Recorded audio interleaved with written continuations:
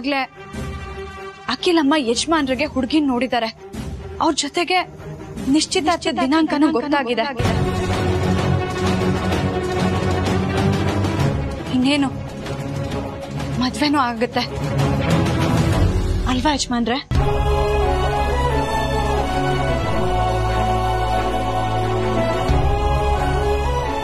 ಆಳಾಗಿರೋರು ಅರ್ಸನಾಗೋ ಕನ್ಸು ಕಾಣಬಾರ್ದು ಬುದ್ಧಿ. ಪ್ರೀತಿಯಲ್ಲಿ ಏಳು ಬೀಳು ಇರಬೇಕೆ ಹೊರತು ಮೇಲು ಕೀಳು ಅನ್ನೋ ತಾರತಮ್ಯ ಇರಬಾರ್ದು. ಪಾರ್ವತಿ, ಮನುಷ್ಯನ ಪ್ರತಿ ಚಲನವಲನಕ್ಕೂ ಆ ಸೂರ್ಯನೇ ಆಧಾರ. ಸೂರ್ಯನ ಮತ್ತೊಂದು ಹೆಸರೇ ಆದಿತ್ಯ. ಆ ಸೂರ್ಯ ಇಡೀ ಜಗತ್ತನ್ನೇ ಬೆಳಗಿದ್ರೆ ಈ ಆದಿತ್ಯ ನಿನ್ನ ಬದುಕನ್ನೇ ಬೆಳಗ್ತಾನಮ್ಮ. ಕಣ್ಣೆದುರಿಗಿರೋ ಬೆಳಕನ್ನ ನೋಡೋದನ್ನು ಬಿಟ್ಟು ಕಣ್ಣು ಮುಚ್ಕೊಂಡು ಯಾಕಮ್ಮ ನಿನ್ನ ಬದುಕನ್ನ ಕತ್ಲು ಮಾಡ್ಕೋತೀಯ? ಕಣ್ಣು ಬಿಟ್ಟು ಒಂದ್ಸಲ ತಿರುಗ್ ನೋಡು. ಈ ಜಗತ್ತಲ್ಲಿ ತುಂಬಾ ಕಾಸ್ಟ್ಲಿಯೆಸ್ಟ್ ಪದ ಯಾವುದು ಅಂದ್ರೆ ಒಂದು ಪ್ರೀತಿ, ಇನ್ನೊಂದು ಹೃದಯ. ಮನುಷ್ಯ ವಿಶ್ರಾಂತಿ ತಗೊಳ್ತಾ ಇದ್ರು ಹೃದಯ ಮಾತ್ರ ತನ್ನ ಕೆಲಸವನ್ನ ತಾನು ಮಾಡ್ತಾನೆ ಇರುತ್ತೆ. ಅವನು ಸಾಯೋವರೆಗೂ ಅದರ ಚಟುವಟಿಕೆನ ನಿಲ್ಲಿಸೋದೇ ಇಲ್ಲ. ಒಂದು ಸಲ ಅದರ ಚಟುವಟಿಕೆ ನಿಲ್ತು ಅಂದ್ರೆ ಮನುಷ್ಯ ಅಂಗಡಿ ಕ್ಲೋಸ್ ಮಾಡಬೇಕು. ಅದಕ್ಕೆ ಈ ಹೃದಯಕ್ಕೆ ಮಹತ್ವ ಹೆಚ್ಚು. ಇನ್ನೊಂದು ಪ್ರೀತಿ. ಆಹ್ ಇದು ವಿಸ್ಮಯ, ಜಗತ್ತಿನ ವಿಸ್ಮಯ. ಈ ಪ್ರೀತಿ ಎಲ್ಲೋ ಅಂಗಡಿಯಲ್ಲೋ, ಸಂತೆಯಲ್ಲೋ, ಬೀದಿಯಲ್ಲೋ, ಮಾರ್ಕೆಟಲ್ಲೋ ಸಿಗೋದಿಲ್ಲಮ್ಮ. ಪವಿತ್ರವಾದ ಎರಡು ಹೃದಯಗಳ ಮಿಲನದಿಂದ ಪಾವನವಾದ ಪ್ರೀತಿ ಜನನ ಆಗುತ್ತೆ ಹಾಗಾಗಿ ಪ್ರೇಮ ದೈವ ಸ್ವರೂಪ ಅಂತ ಹೇಳ್ತಾರೆ. ನಿನಗೊಂದು ಸತ್ಯ ಹೇಳೇನು ನಾವು ಈ ಜಗತ್ತಿಗೆ ಬರೋಕ್ ಮೊದಲು ಭಗವಂತ ಯಾರಿಗೆ ಯಾರು ಏನು ಮಾಡಬೇಕು ಅವರು, ಅವ್ರ ಕರ್ತವ್ಯ ಏನು, ಎಲ್ಲವನ್ನ ನಿಗದಿ ಮಾಡಿ ನಮ್ಮನ್ನ ಈ ಭೂಮಿ ಕಳಿಸಿರ್ತಾನೆ. ಇಲ್ಲಿ ಬಂದ್ಮೇಲೆ ನನಗೆ ಅವ್ರು ಬೇಡ, ನನಗೆ ಇವ್ರು ಬೇಕು, ನಾನು ಅವ್ರ ಪ್ರೀತಿ ಮಾಡ್ತೀನಿ, ಇವ್ರು ಸರಿ ಇಲ್ಲ, ಅವ್ರು ಸರಿ ಇದ್ದಾರೆ ಅಂತ ಹೇಳೋಕೆ ನಮ್ಗೆ ಯಾವುದೇ ಅಧಿಕಾರ ಇರೋದೇ ಇಲ್ಲ. ಎಲ್ಲವೂ ಕೂಡ ಪೂರ್ವ ನಿಯೋಜಿತ. ಅವನಂತೆ ಇಲ್ಲ ಆಗ್ಬೇಕು, ಅವನ ಆಣತಿಯಂತೆ ನಾವು ಬದುಕಬೇಕಮ್ಮ. ಇದೇಮ್ಮ ಸತ್ಯ. ನಾವು ಇದನ್ನ ಅರ್ಥ ಮಾಡ್ಕೊಳ್ದೆ, ನಮ್ಮ ಅಹಂಕಾರದಿಂದ, ನಮ್ಮ ಕೋಪದಿಂದ, ದುರಹಂಕಾರದಿಂದ ಎಲ್ಲವನ್ನ ನಾಶ ಮಾಡಿಕೊಂಡು ನಮ್ಮ ಬದುಕನ್ನ ನಾವೇ ಹಾಳು ಮಾಡ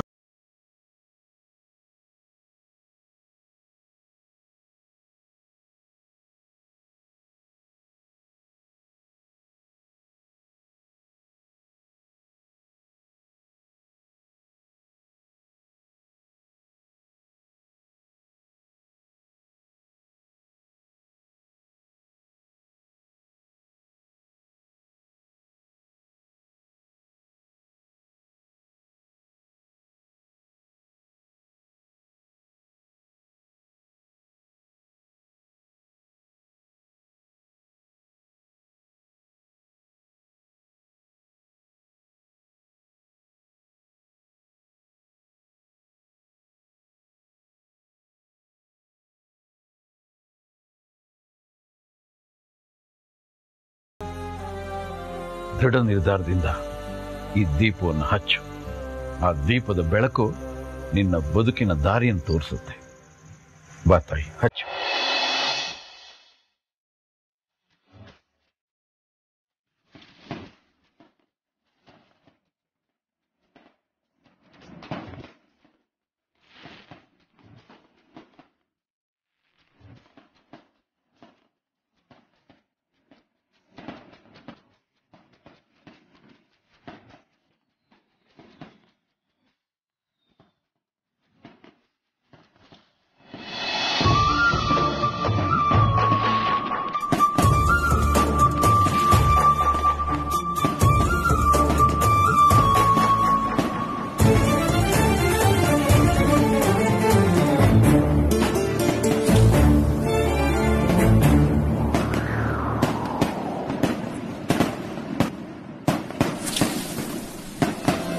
ಹಚ್ಚು ಪಾರ್ವತಿಯವರೇ ಏನಾದರೂ ಬೇಕಿತ್ತಾ? ಹೌದು. ಏನು? ಉತ್ತರ. ಉತ್ತರ ಉತ್ತರ ಅಂದ್ರೆ? ನೆನ್ನೆ ಅರ್ಸನ್ ಕೋಟೆಯಿಂದ ನಮ್ಮನೇಲಿ ಕರ್ಕೊಂಡ್ ಬರೋವಾಗ ಅಮ್ಮನ ಹತ್ರ ಏನಂತ ಹೇಳಿ ಕರ್ಕೊಂಡು ಬಂದ್ರಿ?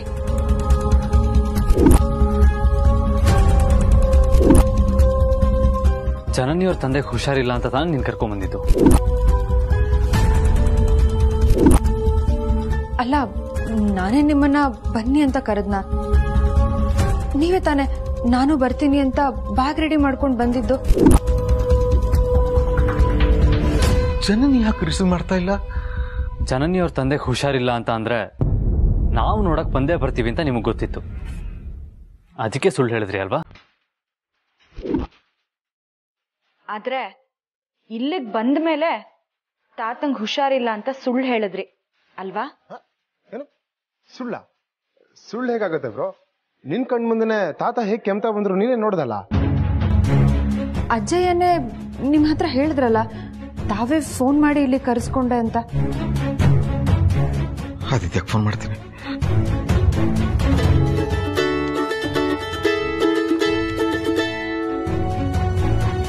ಹಲೋ ಅಪ್ಪ. ಆದಿತ್ಯ ಸ್ವಲ್ಪ ಪ್ರೀತು ಇದ್ರೆ ಫೋನ್ ಕೊಡ್ತೀಯಾ?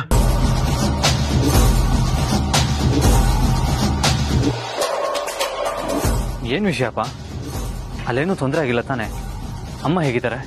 ಇಲ್ಲೇನು ತೊಂದರೆ ಆಗ್ತಾ ಇಲ್ಲ. ನೀನ್ ಪ್ರೀತಿಗೆ ಸ್ವಲ್ಪ ಫೋನ್ ಕೊಡು ಪ್ಲೀಸ್ ಸರಿಯಪ್ಪ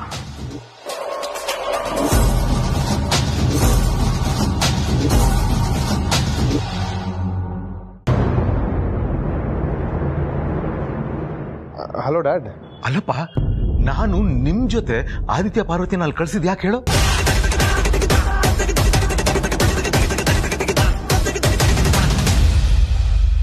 ಅಲ್ಲಾದ್ರೂ ಅವರಿಬ್ರು ಒಂದಾಗ್ಲಿ ಅಂತ ತಾನೆ. ಇಲ್ಲಿಂದ ಹೊರಡುವಾಗ ವೀರ ಏನು ಹುಷಾರಿಲ್ಲ ಅಂತ ತಾನೆ ಹೇಳಿ ಹೊರಟಿದ್ದು.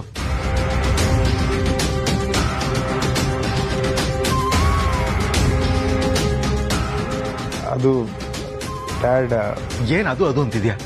ಇಲ್ಲಿ ಏನ್ ಸುಳ್ಳು ಹೇಳಿ ಹೋಗಿದೆಯೋ, ಅಲ್ಲಿ ಹೋದ್ಮೇಲೂ ಅದೇ ತಾನೇ ಮೇಂಟೈನ್ ಮಾಡಬೇಕು. ಅಥವಾ ಆದಿತ ನಿಮ್ಮ ಅಮ್ಮನ ಹತ್ರ ತಾತನ ವಿಷಯ ಹೇಳದೇ ಇರೋ ತರ ನೋಡ್ಕೋಬೇಕು ತಾನೆ?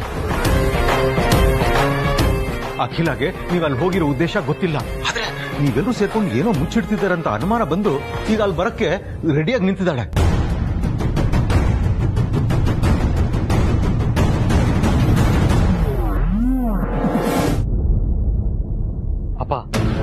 ನಮ್ಮಿಬ್ರನ್ನ ಇವ್ರು ಒಂದ್ ಮಾಡಕ್ ಕರ್ಕೊಂಬಂತಾರೆ ಅಂತ ನನಗೆ ಇವಾಗ ಕನ್ಫರ್ಮ್ ಆಯ್ತು.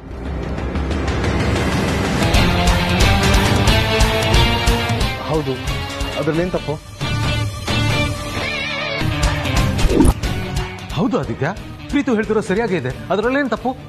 ಅಪ್ಪ ಯಾಕೆ ಎಲ್ಲರೂ ಆಗದೆ ಇರೋದ್ರ ಬಗ್ಗೆ ತಲೆ ಕೆಡಿಸ್ಕೊಳ್ತಾ ಇದ್ರ ಅಂತ ನನಗೆ ಗೊತ್ತಾಗ್ತಾ ಇಲ್ಲ. ಪ್ಲೀಸ್ ಇದನ್ನ ಇಲ್ಲಿಗೆ ಬಿಟ್ಬಿಡಿ.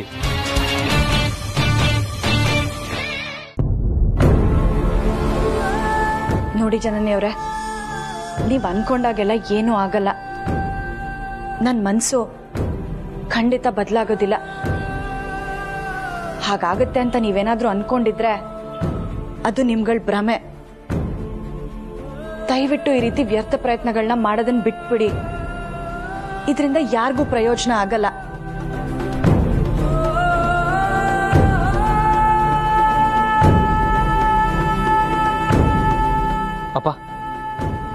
ಅಮ್ಮನ ಕೈಗೆ ಫೋನ್ ಕೊಡಿ. ಯಾಕೆ? ಗಾಬರಿ ಆಗ್ಬಿಡಿ. ಅವ್ರು ಇಲ್ಲಿಗೆ ಬರೋದ್ ಬೇಡ ಅಂತ ನಾನು ಅವ್ರಿಗೆ ಸಮಾಧಾನ ಮಾಡ್ತೀನಿ. ಆಯ್ತಪ್ಪ. ಕೊಡ್ತೀನಿ. ರಘು ಯಾಕೆ ಇನ್ನೂ ಹಾಗೆ ಇದ್ದೀರಾ? ರೆಡಿ ಆಗಿಲ್ವಾ? ನಾನು ಕಾದು ಕಾದು ಸಾಕಾಗಿ ನಾನೇ ಬಂದೆ. ಅದಕ್ಕೆ ಫೋನ್ ಮಾಡಿದ್ದಾನೆ. ಏನಂತೆ? ನೀವು ಹತ್ರ ಏನೋ ವಿಷಯ ಮಾತಾಡ್ಬೇಕಂತ. ಕೊಡಿ. ಆದಿ? ಅಮ್ಮ ನೀವು ಗಾಬರಿ ಮಾಡ್ಕೊಂಡು ಇಲ್ಲಿಗೆ ಬರೋ ಅಗತ್ಯ ಏನು ಇಲ್ಲ ಅಮ್ಮ. ಪ್ರೀತು ಜನನಿ ಮಧ್ಯೆ ಒಂದು ಸಣ್ಣ ಕನ್ಫ್ಯೂಷನ್ ಅಷ್ಟೇ. ಜನನಿಯವ್ರ ತಂದೆ ತಾತ ಇಬ್ರು ಆರಾಮಾಗಿದ್ದಾರೆ. ನೋಡಿ ಇವತ್ ಸಂಜೆನೋ ನಾಳೆ ಬೆಳಗ್ಗೆನೋ ನಾವು ಹೊರಟು ಬಂದ್ಬಿಡ್ತೀವಿ. ನೀವು ಇಲ್ಲಿಗೆ ಬರೋ ಅಗತ್ಯ ಇಲ್ಲ. ನೀವು ಆರಾಮಾಗಿರಿ ಅಮ್ಮ. ಆದಿ ನಿನ್ ಮಾತು ನಂಬೋದಾ? ನಿಮ್ ಮಗನ ಮೇಲೆ ನಿಮಗೆ ನಂಬಿಕೆ ಇಲ್ವಾ ಅಮ್ಮ? ನಿನ್ ಮೇಲೆ ನನಗ್ ನಂಬಿಕೆ ಇದೆಯಪ್ಪ. ಆಯ್ತು ಬರಲ್ಲ ಬಿಡಪ್ಪ.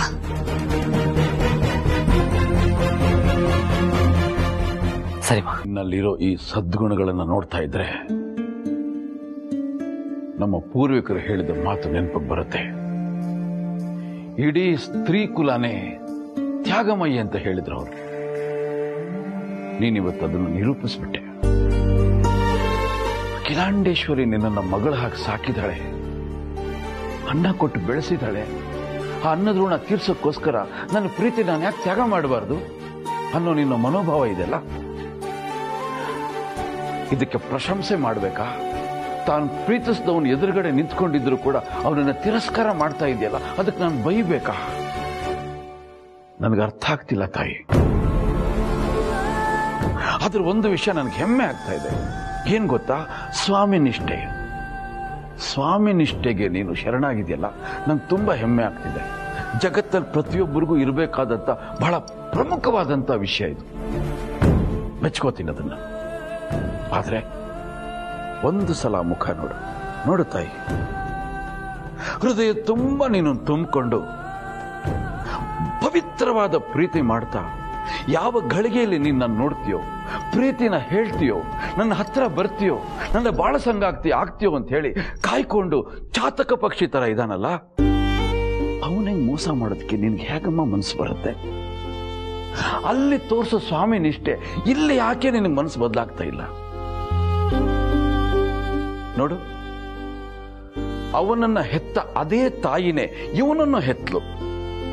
ಆ ತಾಯಿನ ಕಂಡ್ರೆ ನನಗಾಗೋದೇ ಇಲ್ಲ. ಕತ್ತಿಸಕ್ಬೇಕು ಅನ್ನೋಷ್ಟು ಕೋಪ ಇದೆ.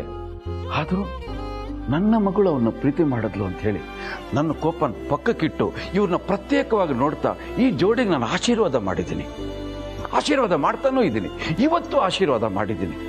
ಯಾಕೆಂದ್ರೆ ಅದು ಪ್ರತ್ಯೇಕ, ಇದು ಪ್ರತ್ಯೇಕ. ಅದಕ್ಕೆ ಇದನ್ನ ಬೆರೆಸ್ಬಿಟ್ಟು ಬೇರೆಯವ್ರ ಬಾಳ ಹಾಳು ಮಾಡಬಾರ್ದು. ಅದು ಧರ್ಮ ಅಲ್ವೇ ಅಲ್ಲ. ಪಾಪ ಆಗುತ್ತೆ ಅದು.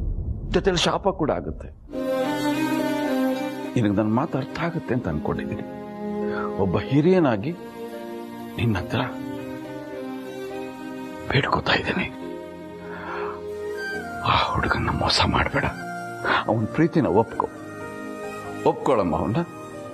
ಒಂದ್ಸಲ ನೋಡಮ್ಮ. ಅವನಿಗೆ ದ್ರೋಹ ಮಾಡಬೇಡಮ್ಮ. ಸಾವಿರ ಕಾರಣ ಇರಲಿ. ಅದೇನೇ ಕಾರಣ ಇರಲಿ, ಅದೆಲ್ಲಕ್ಕಿಂತ ಮಿಗಿಲಾದ್ದು ಈ ಹುಡುಗ ನೀನು ಮಾಡ್ತಿರೋ ಪ್ರೀತಿ. ಅವನು ನಿನ್ನ ಮೇಲೆ ಇಟ್ಟಿರೋ ಪ್ರೀತಿ. ಅದಕ್ಕೆ ನೀನು ಗೌರವ ಕೊಡಲೇಬೇಕು. ಒಬ್ಬ ಹಿರಿಯನಾಗಿ ನಾನೇ ತೀರ್ಪು ಕೊಡ್ತಾ ಇದ್ದೀನಿ. ಇದೇ ಶ್ರೇಷ್ಠ. ಸ್ವಾಮಿ ನಿಷ್ಠೆಗಿಂತ ಇವನು ಪ್ರೀತಿ ಶ್ರೇಷ್ಠ. ಎರಡೂ ತಕ್ಕಡಿಲ್ಲ ತೂಗು. ಇದು ಭಾರವಾಗಿರುತ್ತೆ. ಒಪ್ಕೊಳ್ಳಮ್ಮ ಅವನ್ನ ದಯವಿಟ್ಟು ಒಪ್ಕೋ. ಇಂಥ ಚಿನ್ನದಂಥ ಹುಡುಗ ಎಲ್ಲಿ ಹುಡುಕಿದ್ರು ಸಿಗಲ್ಲ ಮಗಳೇ.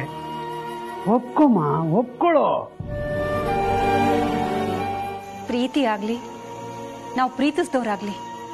ಬೇಕು ಅಂದಾಗ ಸಿಗಲ್ಲ ಪಾರ್ವತಿ. ಸಿಗದೆ ಇದ್ದಾಗ ಪಶ್ಚಾತ್ತಾಪ ಪಡೋದಕ್ಕಿಂತ ಸಿಕ್ಕಾಗ ಒಪ್ಕೊಳ್ಳೋದು ಒಳ್ಳೇದು.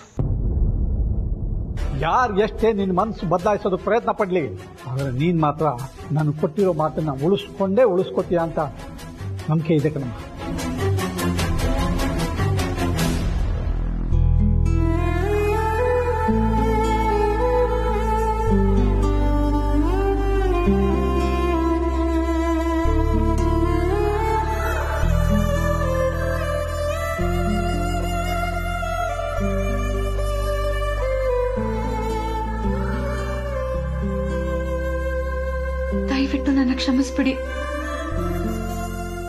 ಯಜಮಾನ್ರನ್ನ ಮದ್ವೆ ಆಗಿ ಜೀವನ ಮಾಡೋ ಯಾವ ಆಲೋಚನೆನೂ ನನಗಿಲ್ಲ. ಮುಂದೆ ಬರೋದು ಇಲ್ಲ.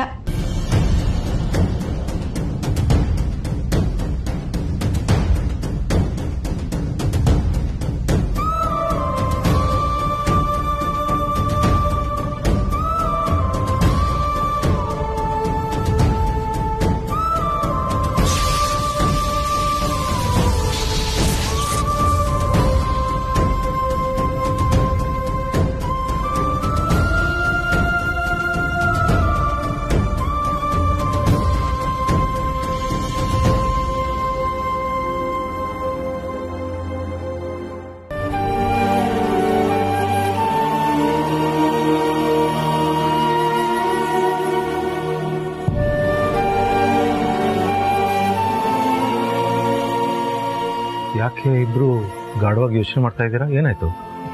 ಏನಿಲ್ಲ ಡ್ಯಾಡ್ ಇವ್ರ ತಂದೆ ಒಂದು ಮಾತೇನೋ ಹೇಳಿದ್ರಂತೆ. ಅದ್ರ ಬಗ್ಗೆ ಯೋಚನೆ ಮಾಡ್ತಾ ಇದ್ವಿ. ಯಾಕಮ್ಮ ಜರ್ನಿ? ಅಂಥದ್ದೇನು ಹೇಳ್ದ ನಿನ್ನೆ ರಾತ್ರಿ ಅಪ್ಪಂಗೆ ಫೋನ್ ಮಾಡಿ ನಾಳೆ ಇರೋ ನಿಶ್ಚಿತಾರ್ಥದ ಬಗ್ಗೆ ಹೇಳ್ದೆ. ಅದಕ್ಕಪ್ಪ ಬೆಳಗಿನ ಸೂರ್ಯ ಸತ್ಯನ ಹೊತ್ಕೊಂಡ್ ಬರ್ತಾನೆ ಅಂತ ಹೇಳಿದ್ರು. ಆದ್ರೆ ಅದ್ರ ಅರ್ಥ ಏನು ಅಂತಾನೆ ನನಗೆ ಗೊತ್ತಾಗ್ತಾ ಇಲ್ಲ ಮಾವ. ಅವನ ಮಾತಿನ ಅರ್ಥ ಏನು ಅಂದ್ರೆ ಸೂರ್ಯನೇ ವೀರಯ್ಯ ಕಣಮ್ಮ.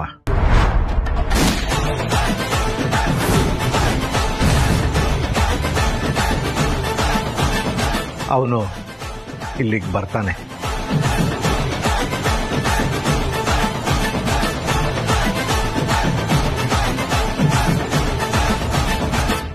ಸತ್ಯ ಅಂದ್ರೆ ಇಲ್ಲಿಗೆ ಬಂದು ಆದಿತ್ಯ ಪಾರ್ವತಿ ಪ್ರೀತಿ ಬಗ್ಗೆ ಹೇಳ್ಬೋದೇನು?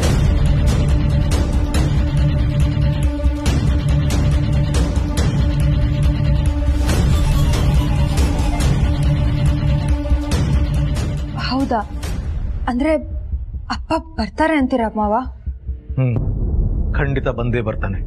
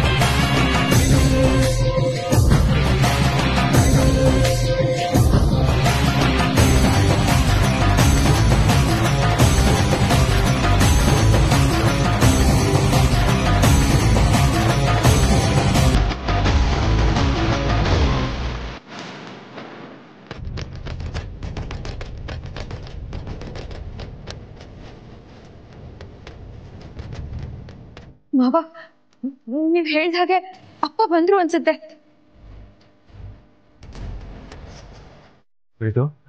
ಹೋಗಪ್ಪ. ಮೊದಲನೇ ಸತಿ ನಿನ್ ಮಾವ ನಿನ್ ಮನೆಗೆ ಬರ್ತಾ ಇದ್ದಾನೆ. ಹೋಗಿ ವೆಲ್ಕಮ್ ಮಾಡಿ ಹೋಗು.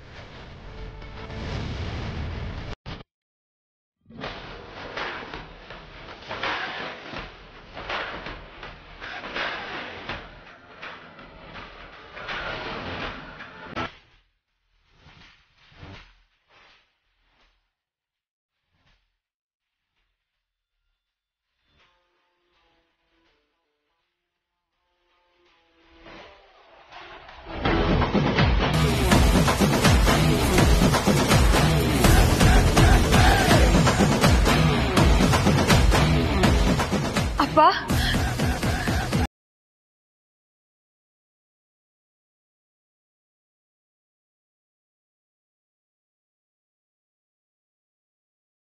ಅಖಿಲ ಅಖಿಲ ಬೇಗ ಬಾ.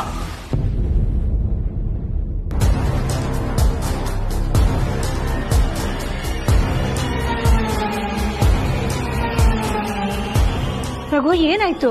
ಯಾಕೆ ಜೋರಾಗಿ ಕೂಗ್ಕೋತಿದ್ದೀರಾ ಯಾರು ಬಂದಿದ್ದಾರೆ ನೋಡು.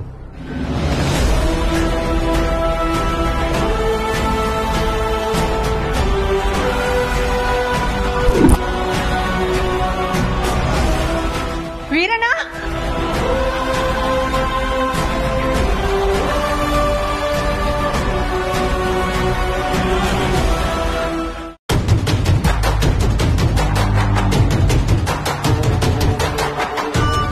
ಬುದ್ಧಿಯವರು ಹಳೆ ದ್ವೇಷನೆಲ್ಲ ಮರ್ತು ಮನೆಗ್ ಬಂದ್ರ?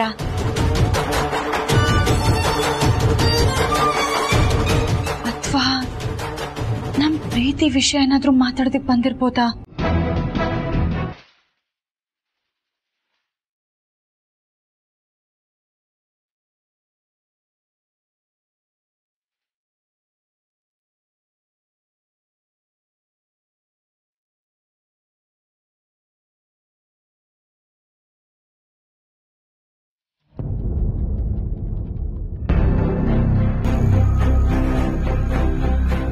ಮಾತ್ ಕೊಟ್ಟಿದ್ದೀನಿ. ನೀವ್ ಏನ್ ಕೇಳಿದ್ರು ನೆರವೇರಿಸ್ಕೊಡ್ತೀನಿ ವೀರಣ್ಣ.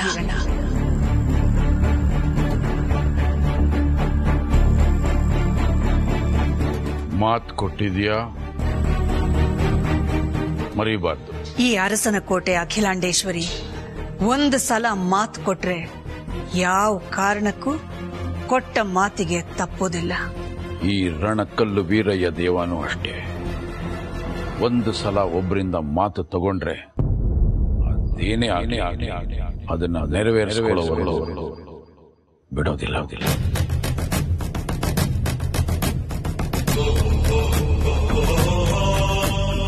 ಮಾತು ಕೊಟ್ಟಾಯ್ತಲ್ಲ. ಈಗ್ಲಾದ್ರೂ ಒಳಗ್ ಬಾ ವೀರಣ್ಣ.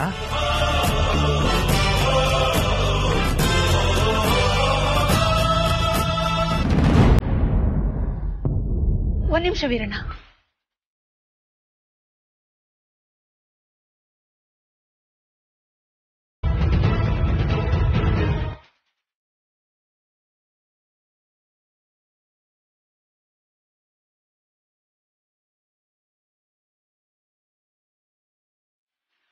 ಯಾಕಕ್ಕಿಲ್ಲ? ಏನಾಯ್ತು? ಒಂದೇ ಒಂದ್ ನಿಮಿಷ. ಬಂದೆ.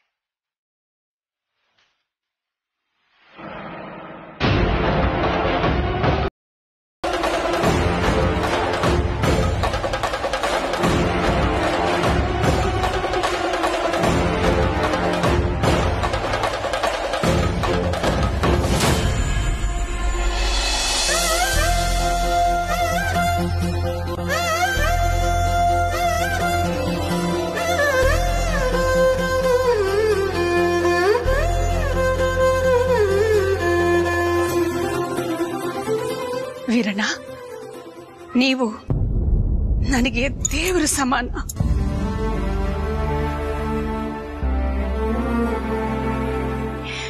ಎಷ್ಟೋ ವರ್ಷಗಳ ನಂತರ ನಮ್ಮ ಮನೆ ಒಳಗ್ ಬರ್ತಿದ್ದೀರಾ? ನಿಮ್ಮ ಪಾದ ತೊಳೆದು ಒಳಗೆ ಬರ್ಮಾಡ್ಕೊಳ್ಳೋ ಒಂದು ಅವಕಾಶನ ಈ ನಿಮ್ಮ ತಂಗಿಗೆ ಕೊಡಿ ವೀರಣ್ಣ. ಇದು ನನ್ನ ಭಾಗ್ಯ. ಬೇಡ ಅನ್ಬೇಡಿ. ಇಲ್ಲ ಅನ್ಬೇಡಿ.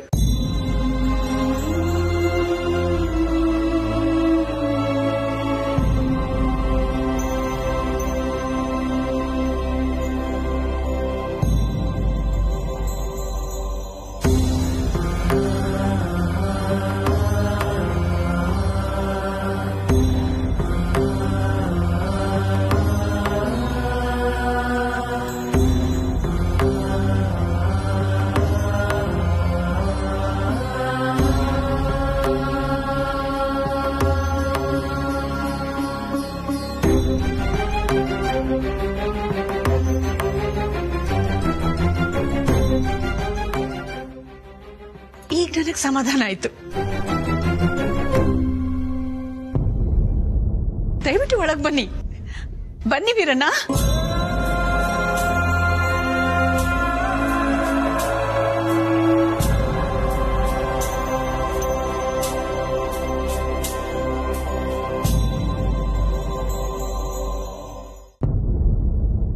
ಬನ್ನಿ ವೀರಣ್ಣ.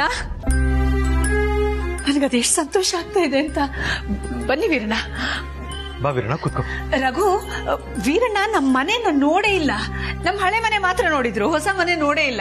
ಒಂದ್ಸಲ ತೋರಿಸ್ಕೊಂಡ್ ಬರೋಣ? ಖಂಡಿತ. ಬನ್ನಿ ನಮ್ಮ ಮನೆನೆಲ್ಲ ಒಂದ್ಸಲ ನೋಡಿ. ದಯವಿಟ್ಟು ಇದು ನನ್ನ ಕೋರಿಕೆ. ಇಲ್ಲ ಅನ್ಬೇಡಿ. ಬೇಡ ಅನ್ಬೇಡಿ.